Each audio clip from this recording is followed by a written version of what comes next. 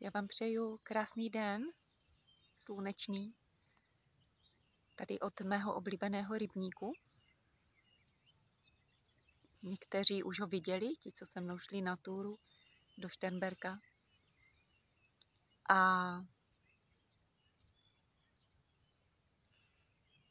já čím dál víc zjišťuju, čím víc eh, žiju v prostoru bytí,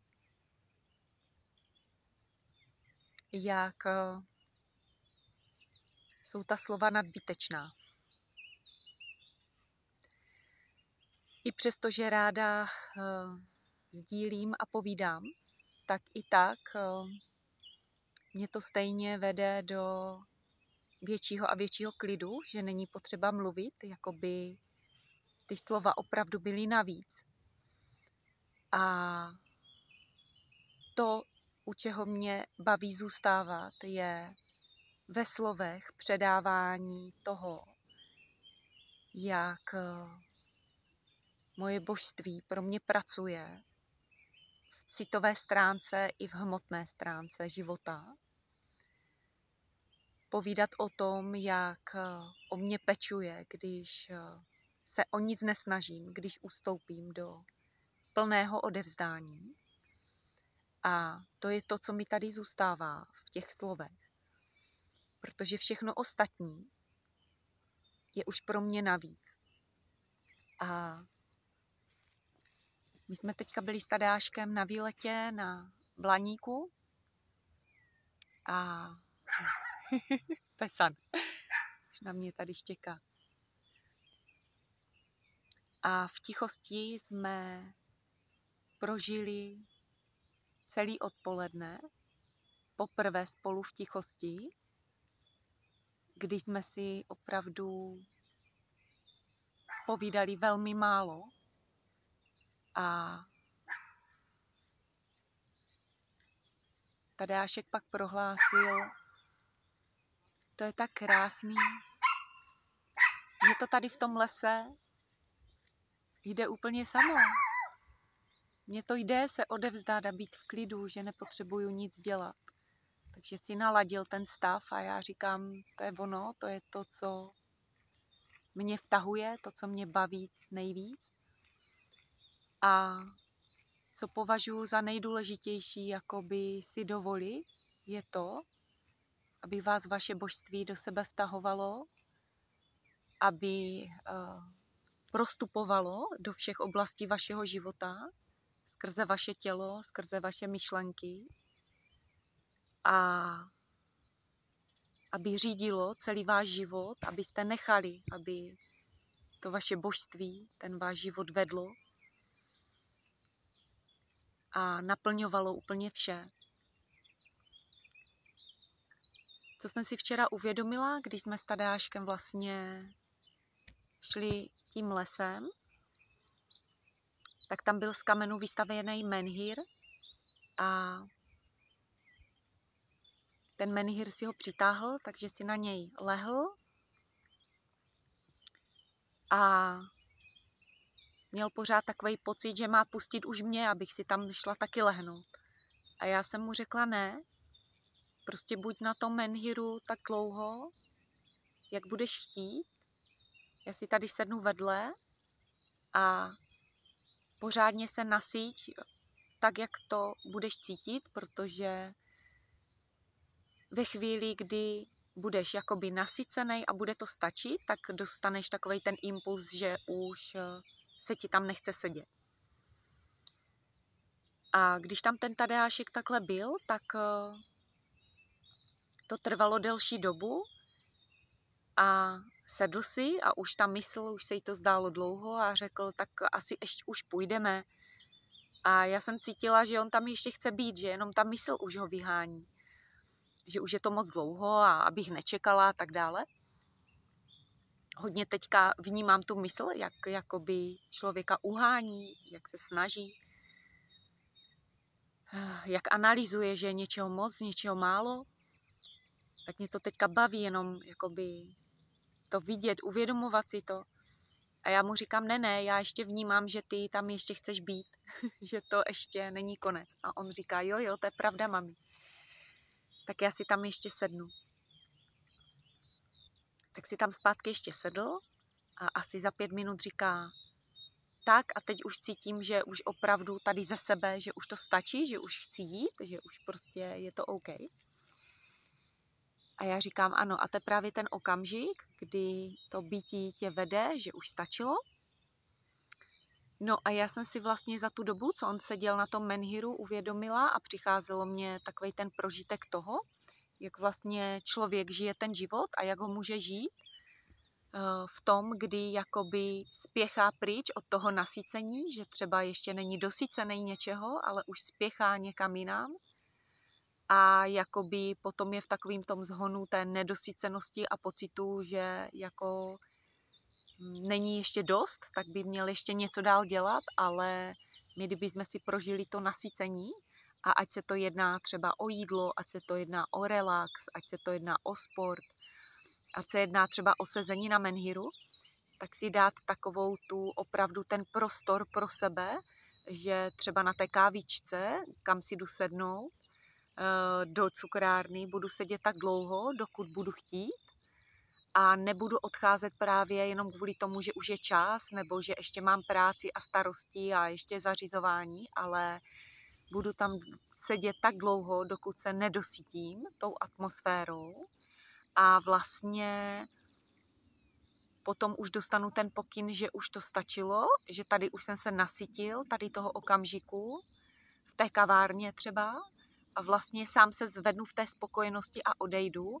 A já jsem si uvědomila, že vlastně když odejdeme dřív, než jsme nasycení nějakým naším okamžikem, tak eh, se stává to, že pak eh, člověk může vnímat takovou tu nespokojenost nebo nedosycenost nebo něco, co eh, takový ten pocit, že mi něco chybí, že jako to nebylo naplněné, taková možná i nenaplněnost a já jsem si všimla, že eh, to všechno dělá jenom ta mysl, že nás žene pořádku předu, ale já určitě doporučuji si tohle vyzkoušet a opravdu se nasytit eh, tak dlouho, jak potřebujete na nějakém místě. A Tadášek samozřejmě ta mysl měla ten strach, že no, ale jako já mám pocit, ale že tady budu celý den, protože mě je na tom menhiru prostě dobře. A já říkám, Tadášku, ne, uvidíš, ono to božství ti dá ten pokyn, prostě dej si ten prostor.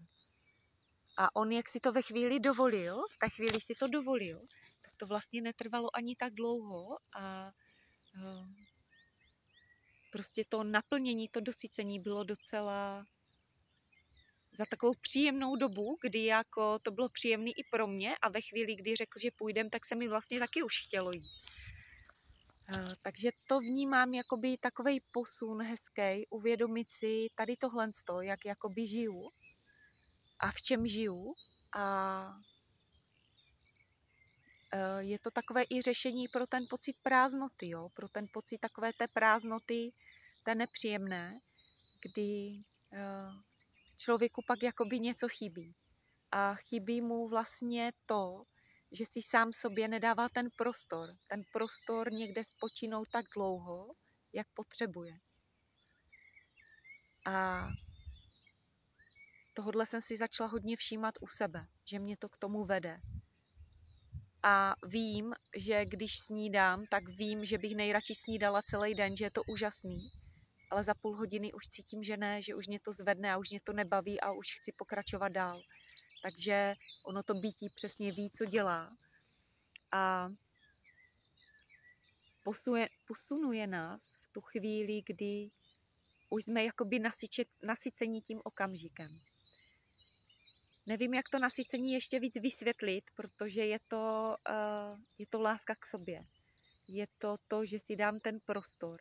Je to to, že na sebe netlačím, nespěchám a nechávám si ten prostor si doznít jak eh, tu kávičku, tak prostor doznít v sobě ty slova, proto někdy, když povídám, tak eh, cítím, že mám pak být potichu, aby ty slova dozněly a ne navazovat hned vlastně další informaci. A přijde mi, že opravdu 99,9% informací je naprosto nadbytečný a že člověk vlastně ani nemusí během dne použít tolik slov, kolik používá. a může si vlastně ten život spíš víc prožívat, než povídat.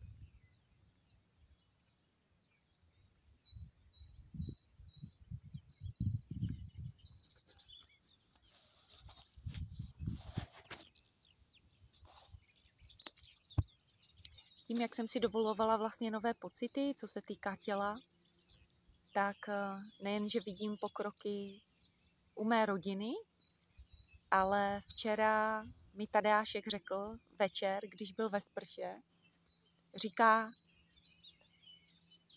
já vám to řeknu, jak to řekl on, protože to bylo hrozně hezký po jeho. On říká, no já teďka cítím, že vlastně toužím se víc starat o to tělíčko, že ho mám víc rád dám si prostě mnohem víc šamponků, než si normálně dávám. Prostě jdu o té hlavy a vymýšlím si každý kousek a baví mě se o to tělíčko starat. Baví mě jít si zaběhat, baví mě se protáhnout. A jako by mě víc to tělo začalo bavit, jako by se o něj starat. A já když jsem takhle stála v té koupelně, tak jsem věděla přesně, co je to za pocit, který jsem si vlastně dávala v tom léčivém videjku je to to nový teďka, miluju sebe, miluji svoje tělo. A hned se věděla, která bije, protože to je přesně ten otisk, který jsem si dávala a samozřejmě se to propsalo k Tadáškovi, tak jsem z toho měla velkou radost. Že vlastně i sám si nacítí, že třeba řekne, hele, teď už tu Coca-Colu prostě ne, teďka už cítím, že si dám tu vodu, nebo třeba řekne ne, teď už ty sladkosti ne, já prostě cítím, že teďka už potřebuji pořádné jídlo. A je to hezký, jak ho to vede, jak se mu zvedla energie, jak jako si víc věří, eh, že zvládne mnohem víc než doteď a je takovej bystřejší, je eh, má hodně energie, ale je i takový bystřejší a je i ukotvený.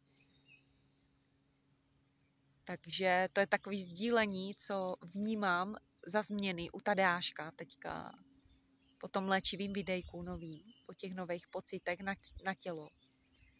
A měla jsem z toho obrovskou radost.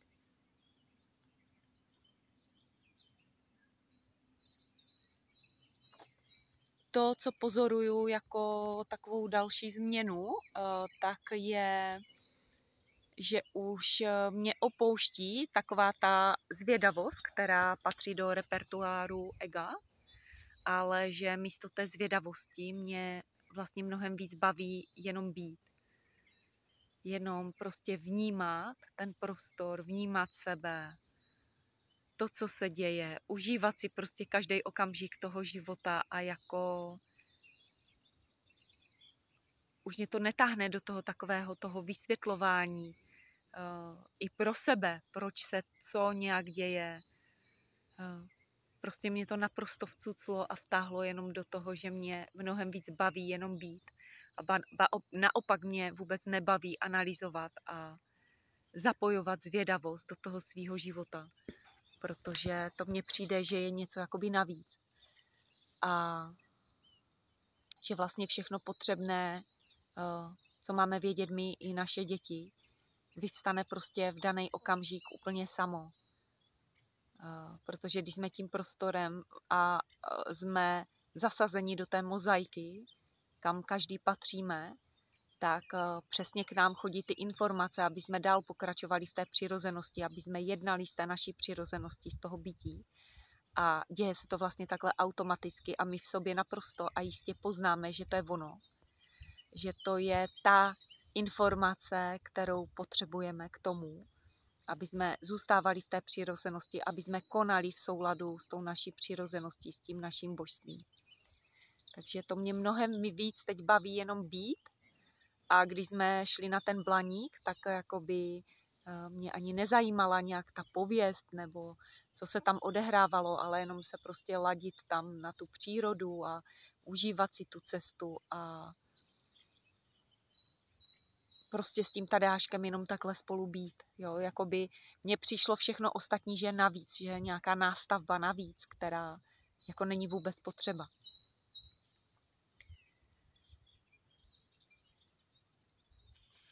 Eh, ještě tady řeknu sdílení teda z našeho včerejšího výletu, kdy jsme eh, sešli z Blaníku a eh, přišli jsme na náměstí do Louňovic, tak tam byla, hrála hudba, živá hudba, byly tam stánky, občerstvení a